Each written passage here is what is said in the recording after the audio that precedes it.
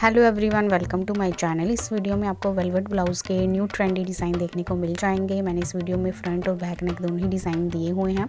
अगर आपकी साड़ी में बहुत ज़्यादा वर्क हुआ है इस तरीके से तो आप बिल्कुल प्लेन ब्लाउज़ आप स्टिच करवा सकते हो। इस तरीके से नेक में या स्लीव्स में आप डिफरेंट टाइप का लेस वर्क करवा सकते हो। अगर आपकी साड़ी हैवी है, अगर साड़ी प्लेन है तो आप हैवी वर्क वाला ब्लाउज़ भी स्टिच करवा सकते हो इस तरह का। सो सारे मैंने कलर्स इस वीडियो में दिए हुए हैं। आपको डिफरेंट टाइप के कलर्स आइडियाज़ भी देखने को मिल जाएँगे।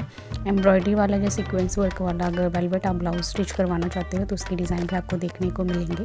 अगर आपके पास वेलवेट की साड़ी है और वो प्लेन है तो आप हैवी स्टिच करवा सकते हो ब्लाउज़ को। आपको डिफरेंट टाइप के डिज़ाइन देखने को मिल जाएँगे। कॉलर लुक भी आप चाह, अगर आप चाहते हो अपने ब्लाउज़ में तो ये भी आपको बहुत अच्छा लुक देगा। विंटर में ये आपको वार्म रखेगा। और इस तरीके से डिफरेंट टाइप के नेक डिज़ाइन भी आपको देखने को मिल जाएँगे। फ्रंट का नेक आपको किस टाइप का रखवाना है।